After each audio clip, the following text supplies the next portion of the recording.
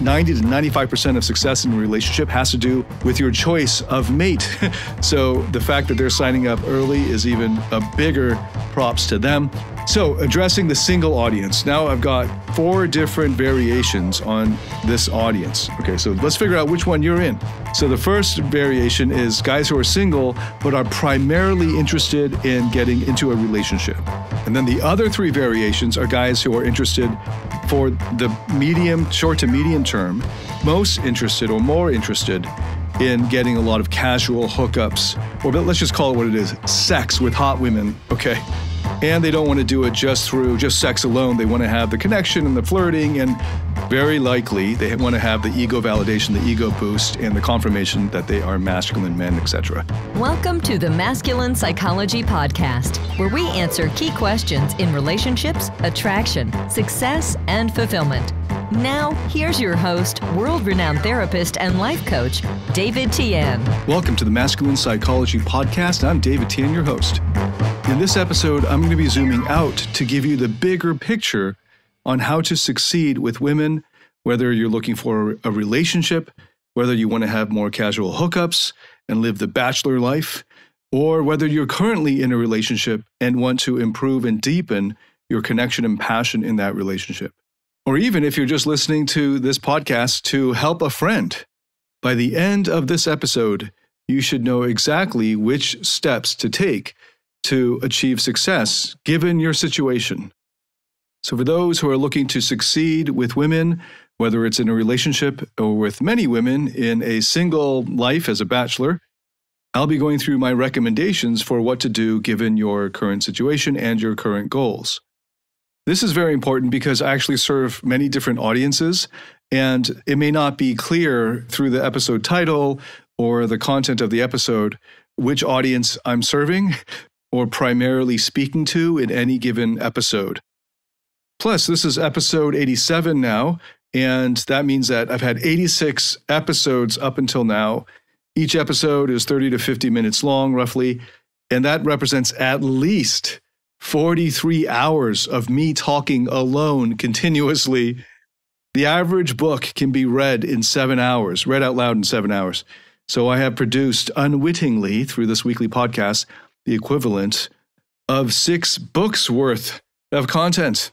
So, for those sifting through the previous episodes, and that doesn't even include all of the content I have already made before I started this podcast, I had three other podcasts going that you can find on my YouTube channel. Got lots of this free content, plus our free masterclasses. All you need to do is opt in with your email on my website, davidtianphd.com. And we've got 14 and counting masterclasses on there for how to succeed in relationships, how to succeed in your single life, how to be more social, make more friends, the whole thing. We got ebooks, video courses, audio courses. So 14 different masterclasses for free in there. So, before putting out more material, because I could do this endlessly, I would like to take the time to give you a kind of guide through the material that I've produced so far in this podcast with regards to not all of the episodes have to do with succeeding with women, by the way. I've got some movie analyses in there. Some of the episodes are far more purely therapeutic or purely psychotherapeutic. But my primary audiences are men who are seeking to be better with women to improve their results, whether that's in dating or in relationships with women. So I'm going to zoom out now and give you the broader overview of what to do given your situation. Also, because sometimes guys don't realize that, that any particular episode, they may not be the primary audience for that episode, and then they don't listen very carefully, and they think that they are, and then they get confused. So I'm zooming out now to give you the sort of the bigger picture blueprint for what to do and, and, how to succeed, whether you're in a relationship or single, whether you're single and want to be in a relationship, or whether you're single and want to optimize your bachelor dating life and hook up with as many attractive women as you can for a period of time. As long as it's between consenting adults and you're not lying or misrepresenting yourself and you're doing it for a relatively short period of time, like a couple years, few years, hey, I, you know, I did it for several years. Of course, I went really extreme with it and created personas that became false selves. It's important to have that distinction. Um, and by the way, that it's not within the scope of this episode.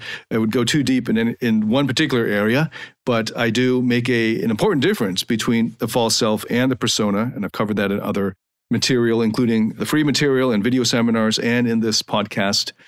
And I also cover it in depth in my course Invincible, especially in Module 2, Invincible 5.0 the new version, the newest, latest version, because I'm continually updating Invincible as of now, anyway. And I also lead uh, Invincible live a couple times a year. Anyway, in the latest version of Invincible, which is Invincible 5.0, in Module 2, I go in depth on the difference between the persona, the false self, and the true self. So I also get asked the question of what if I haven't experienced, uh, the questioner is asking, what if I haven't experienced the dating life much? And I know eventually I would like to settle down, but right now I just want to date around. And I can't because I don't really have the skills or know what I'm doing there, but I'd like to do that for a period of time. Is that a bad thing? I'd say the younger you are, the less bad it is. So if you're in your teens, and you just want to party a bit, there's very little harm there because you're really just exploring and accruing important life experience. This will help you to appreciate the committed monogamous relationship that you end up settling into later and the family that you create. Otherwise, you're going to have the white picket fence problem if you settle too early and always be wondering, you know, the grass is greener on the other side. And, and this is a very common phenomenon for men and for women. And a lot of the judgmental red pill, MGTOW, incel, manosphere world judges women for now going through this period of like, I don't want to, the women are saying, I don't want to experience of later in life wishing that you had lived it up a bit more because the grass is greener on the other side. And Now you settled for the white picket fence. Okay, so the same applies to the men. Get it out of your system. The younger you are, the less dangerous it is. I did it beginning as I was turning 30 as a result of separating from my first wife, paired with leaving a very conservative evangelical faith.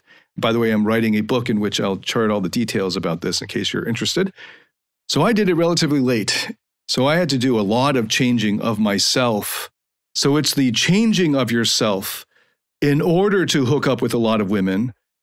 That is the dangerous part from a mental health perspective if you naturally get lots of women just by being the way you are and all you're doing is saying yes to consenting women yes you may have sex with me that kind of thing and you just indulge for a period of time there's nothing really wrong with that. And that may actually be a good thing because you aren't going to be curious about it later on.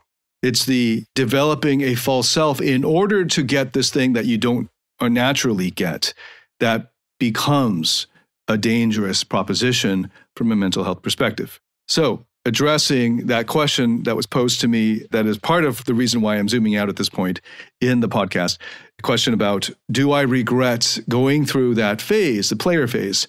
And I regret some of it. I went too extreme in, in some respects, but I don't regret the actual experiences I've had because now I have zero curiosity about that lifestyle. And I definitely don't see the grass as being greener over there.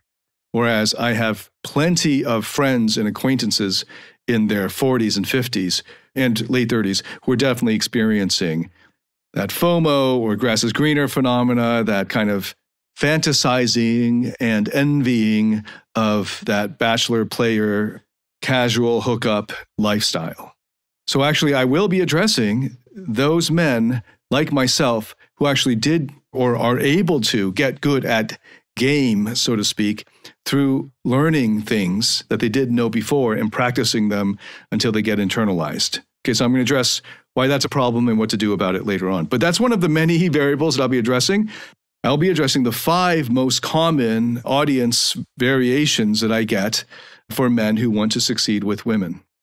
And in four out of the five cases, and I would argue all five, the best course of action to get that success in life and with women is not what most of the advice you get on the internet is telling you. And by most, I mean like 99%. Okay, so let's get into it. I have in front of me a kind of flow chart. It's sort of like a truth tree, decision tree. And that's one of the drawbacks of doing an audio only podcast or audio first. For visual thinkers like myself, it might benefit to you to just see it all at a glance. So let me know if that's you, or if you prefer to consume content on audio, I'll just walk you through it. But if you're a minority that likes diagrams like me, let me know. I'll see if I can get our graphics guide to draw up something cool that we can post somewhere. So, first, I'm going to deal with the easiest case guys who are currently in relationships. I don't make a lot of content for guys who are currently in relationships because through our research, we found that most guys who are in relationships are lazy and think all of the work has already been done because now they're in a relationship or they're married. Now, of course, they're in for a rude awakening, but they don't usually figure that out until they're almost in hell, at which point they're in such serious damage control because they weren't really paying attention to it. And for many of them, they're too deep in it that they don't respect relationship skills or psychology or, or psychotherapy in general. That's most guys who are in troubled relationships, which is most relationships. But if you are in a relationship and you're listening to this to get help with that relationship, you are awesome. You are already in the elite minority. So awesome. Props to you. And let me know if you are in a relationship and you have questions, because I would love to make more content for and address the issues of people who are in relationships. I just don't know whether that will get much engagement among men. Most relationship material trends a lot more with women. So let me know. I've created an entire course that is my pride and joy, and it is called Rock Solid Relationships. The most recent version is 2.0, and I lead it live. I'm currently leading a class going through the 10 week course live. But you can also get access to Rock Solid Relationships, the course, through our Platinum partnership. You can just write to our support team and they'll let you know how it works. Rock Solid Relationships is a way to go, and it is very psychotherapeutic. So we go through your shadow, your shadow parts. We do a lot of shadow work. We go through toxic shame, and there's a whole sequence on grief work and encountering your inner child and imagery rescripting. There's some quite a bit of parts work. There's a lot of gestalt work in there. Then we get into assertiveness, attachment styles. There's a whole module on each of those assertiveness and attachment styles. Then we get into sex and sex psychology. And then we get into non traditional relationships like open relationships. We also cover a lot of masculinity and masculine energy, including natural ways of boosting your testosterone. It is very detailed, very thorough, and I'm so proud of it. And I love this course, and I'm, my heart's still totally in it. I'd actually love to make more content for this. I'm married. I'm very much in a marriage with a kid now. And all of these issues are very present, current issues that I would love to get into. So let me know if that interests you. Okay, so that's one. Guys who are in relationships. I know that most of the guys through our surveying are single, even the guys who buy and sign up for rock solid relationships. So power to them for getting started before they get into a relationship, which is actually the crucial period because 90 to 95% of success in a relationship has to do with your choice of mate. so the fact that they're signing up early is even a bigger props to them. So addressing the single audience. Now I've got four different variations on this audience. Okay, so let's figure out which one you're in. So the first variation is guys who are single but are primarily interested in getting into a relationship.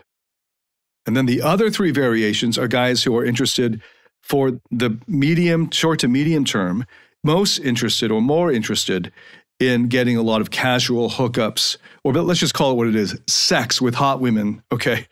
And they don't want to do it just through just sex alone. They want to have the connection and the flirting, and very likely they want to have the ego validation, the ego boost, and the confirmation that they are masculine men, etc. So all of that is needs to be addressed in therapy. But the clear goal is more hot sex with more women. So that's very different from being in a loving relationship, right? So the first split on the decision tree for single men is on the one hand, you want a relationship, on the other, you want hot sex with lots of women. So that's the first big split. So I'm going to address one side of that split, one of the two branches, and then I'll go to the other branch, which is the hot sex with many women which subdivides into three more branches. Okay, so before I go there, let's deal with the one that doesn't subdivide, the one where, which is single men who are most interested right now in creating a loving relationship.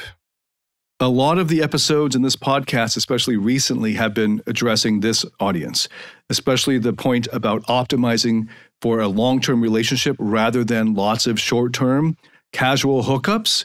Because the way that you will present yourself, the way that you will interact, the way that you will be testing, quote unquote, women, the kind of challenges you'll be putting up, the kind of evaluative measures you'll be using will be a lot more stringent and a lot more polarizing because you're looking for that one top one woman that you will invest your life into building a life together, right? Your life partner. This is very different and a lot more stringent and should be a lot more demanding than the standard that you would present for just a one night stand, right? This, that's kind of obvious, but I wanted to make that point because a lot of guys mess this up right off the bat. The myth is for most single guys in the Western world, I'm going to date lots and lots of women, as many as I can, and then I'll just choose one of them. So the part where they're like, I'm going to choose one of them for a marriage, they're not thinking about optimizing that. They're thinking about presenting themselves in such a way that they will have the maximum number of women saying yes to them. But in so doing, this is what I call, this is what I refer to as optimizing for the short term. In so doing, they actually change how they are so, optimizing for the long term, if you're a single guy and you're trying to get a relationship, optimizing for a long term relationship means that you're going to be leading with the things about yourself that are authentically you. This is what I've been referring to as optimizing. Mark Manson uses the term polarizing. The effect is the same. There is a natural way to do this. And that is through what I've been referring to as the seven steps, the therapeutic process, the seven steps of the therapeutic process.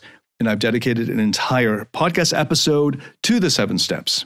Okay, in addition to that, what I've been doing recently in the past few episodes is pointing out that in addition to the seven steps, you can also use the therapeutic process to access and grow parts of you that are already naturally attractive and help them to be even more attractive and more seductive and enjoy it the whole time. And they'll be even happier Your, those these parts of you will be even happier as a result and as a result you will get more women who will be attracted to you and so more women to choose from but you'll be doing it in an authentic way because you're putting yourself out there in the most authentic way possible that's what I mean when I say you're optimizing for the long term, not optimizing for the short term. This is what I'm referring to in terms of the long tail.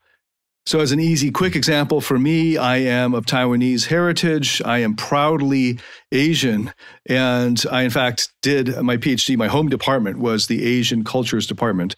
And as of now, I've lived more than half my life in Asia. I love Asian food. I love Asian culture and, and so on. So I have tattooed on my arm beautiful Chinese calligraphy, in my opinion, and I wear that proudly. A lot of what I talk about is the best Asian food, Asian restaurants. I talk a lot about places in Asia. I'm hanging out and living in most of the time in Asia. so all that's taken care of. And I know there are a lot of Asian Americans and second generation Asian men who are living in Western countries who don't love Asian culture very much not usually that they hate it.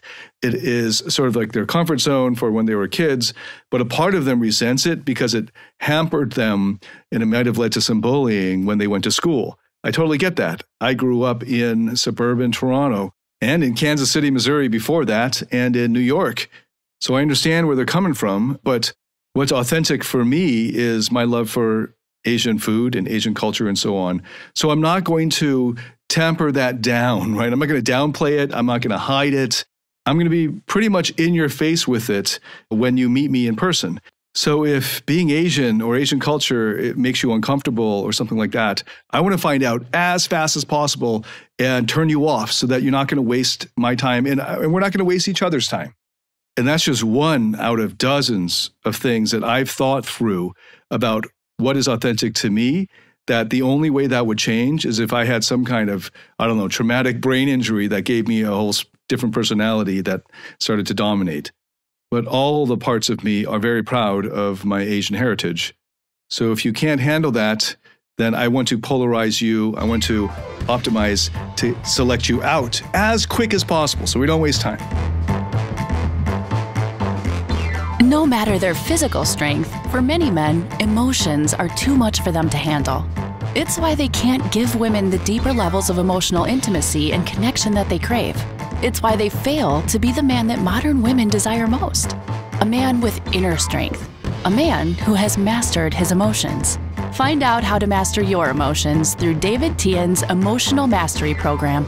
The Emotional Mastery Program is a step by step system that integrates the best of empirically verified psychotherapy methods and reveals how to master your internal state and develop the inner strength that makes you naturally attractive, happy, and fulfilled. Learn more about this transformational program by going to davidtianphd.com slash emotional mastery. That's D-A-V-I-D T-I-A-N-P-H-D.com slash emotional mastery. Now, speaking to my Asian American brothers, second generation Asian, what do we call it, Western brothers, if you're going to optimize for getting as many sexual encounters with women in the West as you can, I think Asians represent 5% or less of the whole population of any Western country.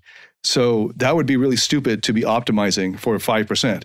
So you would want to optimize for white girls and when I was starting out learning game pickup in Ann Arbor, Michigan, that's exactly what I did. I had to translate a lot of my cultural experiences into white people talk, right? I couldn't tell them about the Buddhist temples that I was visiting for my PhD research. I had to tell them about Indiana Jones and then draw that connection through a really kind of horrible Orientalism. But I just swallowed it and said, suck it up. If you want to hook up with these 21 year old college chicks who have never left from in many cases the Midwest, and they're not racist on purpose or anything. They're just ignorant.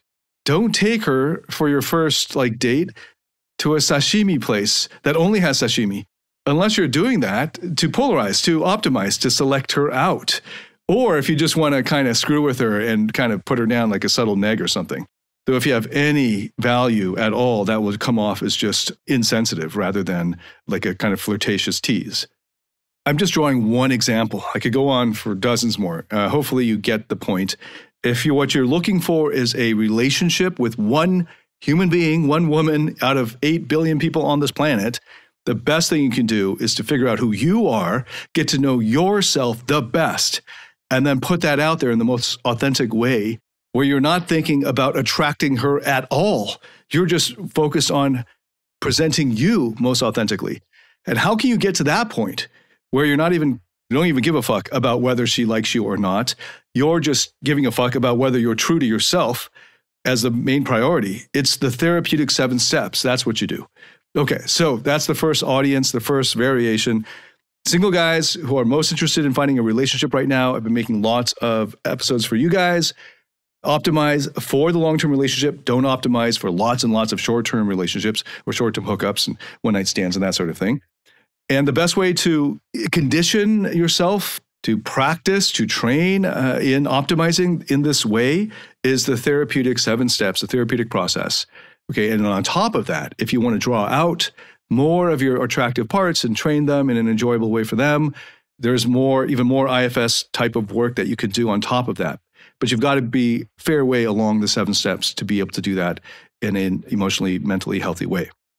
Okay, now going to the other side of the decision tree. So we're now leaving the guys who are single who most want a relationship. We're now moving into the guys who are single who want to have lots of casual sex. Okay. Among the casual sex group, there are, it branches off into three different variations. I'll dispose of the first one pretty quickly. The first one is if you're already naturally, so to speak, really good with women. And there are various ways in which that would have come about, but almost always that what you have in common is early on in your life, maybe in your preteens, you had a role model or maybe an older sister who opened the doors for you. Like with Tom Cruise, it was the older sister had him at, when he was 10 years old or whatever. They sat him on the sink at home, and his older sisters lined up to practice kissing with little Tommy so that they could be great kissers with the guys their age. So, of course, Tom Cruise is the beneficiary of this training and got lots of confidence naturally as a result of that. And that was happening, I think, when he was 10 years old, from what I remember. You might have had a really supportive, emotionally healthy mother and father. I hope that my son pretty much expect him to have these natural mindsets. He kind of already does as a one, starting around eight months or so. He was blowing kisses to little girls walking by to the point where my wife's father was like, hey, hey, who do you think you are, rock star? Because he would, you know, a row of three little girls walk by, and he's like eight months at the restaurant. He'll turn and blow them these kisses. And then when they all they all turn because he's really cute, and they start waving, and he waves, and then he just turns away, and then they come back and they're waving, and and he just ignores them. Already a little baby player. So this can happen. You can become a natural with women, so to speak. And if that's the case, I'm not sure why you're listening or found me somehow. Maybe it's for a friend. And I do get plenty of men and women writing to me to ask for advice for their friends, real or imagined. And if that's the case and you're natural and you're now seeking something deeper because maybe you devoted a decade of your life just screwing everything that said yes to you, and you're finding emptiness and meaninglessness in the hedonism, and you're wondering if there's more, and somehow you found my podcast. I had an earlier podcast called the DT PhD podcast that was a lot more focused on philosophical issues like the meaning of life. Maybe you found me through there. If that's the case, then straight up, psychotherapy is the way to go with these existential issues, and in particular, kind of philosophical psychotherapy. By that, I don't mean that you have philosophical debates in therapy, but a more philosophically inclined type of psychotherapy that is also like experiential, like IFS, but also more philosophically inclined, like the existential psychotherapy of Irvin Yalom. I've recently become, as a late comer to this, a big fan of existential psychotherapy as practiced by and championed by Irvin Yalom where you're digging deep into the meaning of life and death and what would make life worth living. Don't take that for granted as if it were just an obvious yes. It's not an obvious yes if you're smart, if you're a deep thinker. Anyway, so I would recommend that, just straight up psychotherapy, if you're natural and you found this. If so, I'm going to now move on to the second out of the three variations. The second is if you're in the top 5% roughly of single men who are currently struggling with women, who could learn game just through the advice and then practicing it and then doing lots and lots of practice and internalizing the mindsets and behaviors. So, what this assumes, which is different from the situation with the quote unquote naturals, this assumes that you currently, when you started out, before you started learning the details of the game, that you weren't good at it.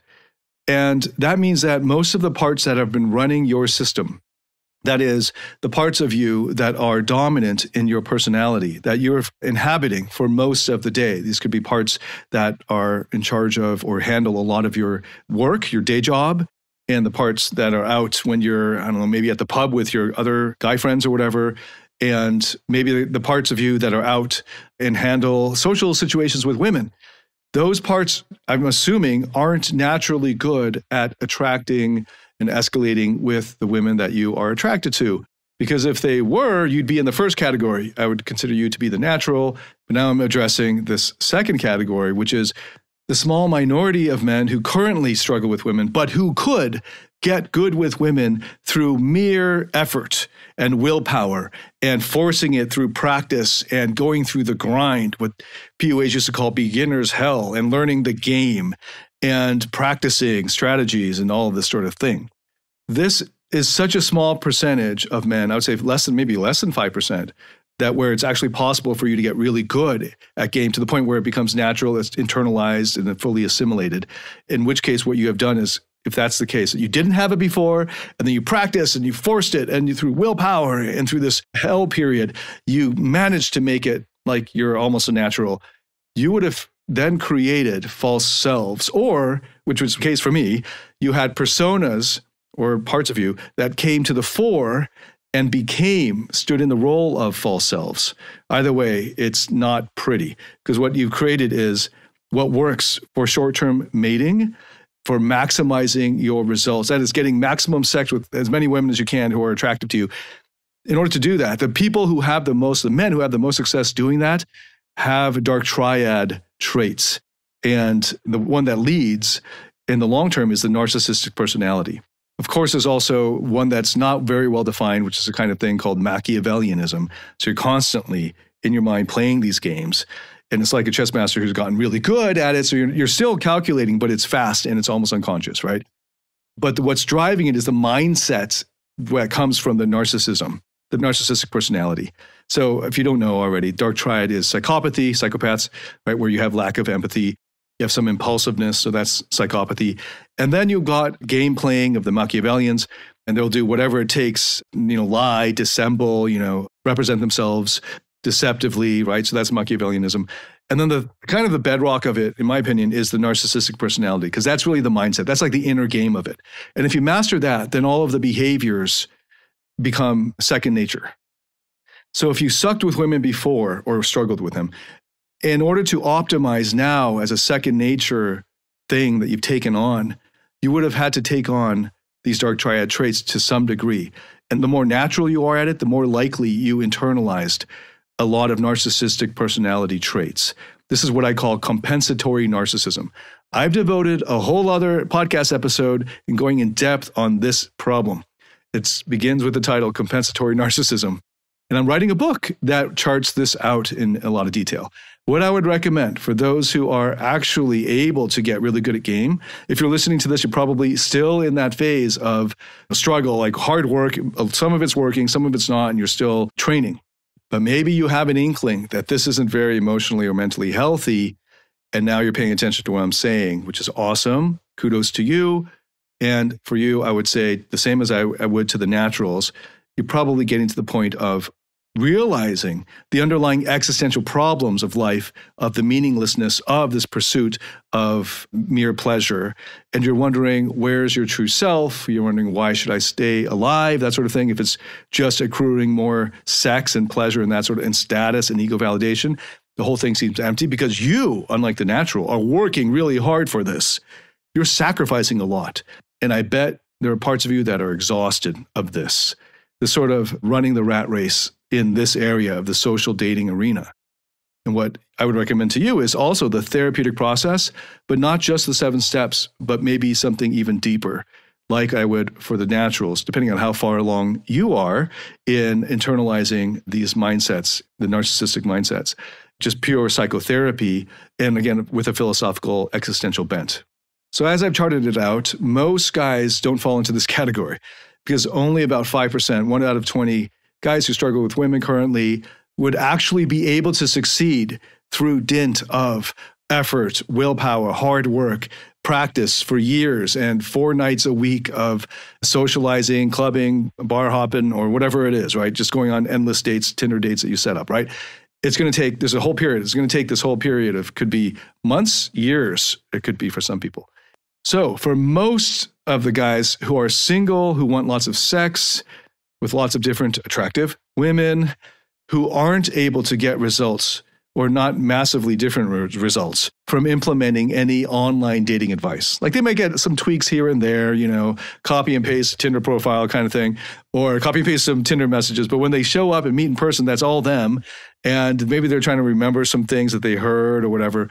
But generally speaking, 19 out of 20 guys who currently struggle with women are not going to be able to get better with women through applying game advice through applying the advice they find online. They're not going to be able to drastically improve their results through that. And the reason why is because of the toxic shame that they're suffering from and their core insecurities. And what that looks like to them on the surface is approach anxiety, social anxiety, not knowing what to say, going blank, maybe having physiological reactions of sweaty palms and an elevated heart rate, and just extreme nervousness and not being able to relax and be themselves when they're around women. Those are all symptoms of the toxic shame that they're dealing with, which can be also cached as the belief that they're not enough, specifically that they're not worthy or enough for love, just in who they are, just by being them, just by existing. For most people, not just achievers, the belief is that you're not enough unless you earn it. So you got to go and do stuff for it to achieve it, to earn it. So that's getting manifested in this very nerve wracking experience of trying to propagate your genes, which is like the evolutionary imperative. Like whether you are given the permission to now procreate is like the whole point from an evolutionary perspective of your existence. So you might get sweaty palms and nervous when giving a speech in your, I don't know, sixth grade class, and there are reasons for that. But that may not have to do with your toxic shame. But what's coming up when you're at this juncture of the mating dance and whatever can resemble it that will trigger in the more primitive parts of your brain, the amygdala and so on, this primal urge to procreate. And in a way, in terms of like the sort of the selfish gene view of evolution, the whole point of your existence, it's all riding on this, right? And so there's a lot of anxiety that comes up here. And often guys think that they're in the 5% who can get good at it through advice, and they spend a lot of effort and they spin their wheels and they'd hardly get any improvement or results, but they put in a lot of work in their perspective. And they become, as a result, because they don't get the results, or they get some results and then they get cheated on, or they lose the game, basically. They lose the Machiavellian game. They're not as good at the game playing as they thought they were. They thought they were playing a different game, probably. But then they found out that the woman that they were with plays it much better at a much higher level than they do. And I also am working on explaining this in much more detail, this whole phenomena, in my upcoming book. And let me know if you want to hear more, because I can do this in the podcast episode in the future.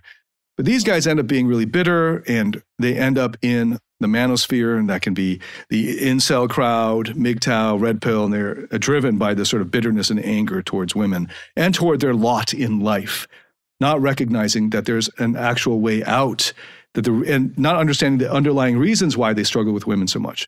So these 95% guys, I would also recommend the same thing I would for the guys who are single but who mostly want a relationship, the therapeutic process of the seven steps. Because you're not going to get the results you're looking for, or lots of casual sex with lots of hot women, by trying to implement the online dating advice, which is really just surface level. And even if it does work, so you make it deep, you've now internalized narcissistic personality traits. You know, this is assuming you don't look like an Adonis unnaturally, because you could just be a really good looking, really charming guy naturally, genetically, or maybe through your upbringing, right? And so then that wouldn't be narcissistic personality per se. But what I'm saying is if you currently struggle with it, which assumes that, implies that you're not good looking enough to get the kind of results you're after, and you have to put it on as a second nature that second nature is very likely going to be, if you're getting really drastic difference in results with women, is going to be along the lines of the dark, dark triad. And that's going to really mess you up for happiness. It's basically going to block your long term happiness and fulfillment in life. And it will attract to you lots of emotional vampire type women because they're most attracted to that type of energy, like that type of game playing. They're like, aha, someone who knows the game like I do. And it's like an advanced vampire now feasting on an advanced victim. So don't go down that route of spending a lot of time learning the game and how to optimize for the short term because 95% of you won't be able to do it, won't be able to pull it off because there's too much toxic shame, core insecurities, the therapeutic problems blocking your success in even implementing them. And thank God because otherwise you're in that 5% game category that I've addressed that will end up developing narcissistic personality traits as well as possibly psychopathy and definitely Machiavellianism and maybe even sadism. That's a fourth dimension. And then they will need deeper psychotherapy beyond just the seven steps, right? So, in a way, thank God that you're not, because your problems are less severe because you didn't go down that rabbit hole.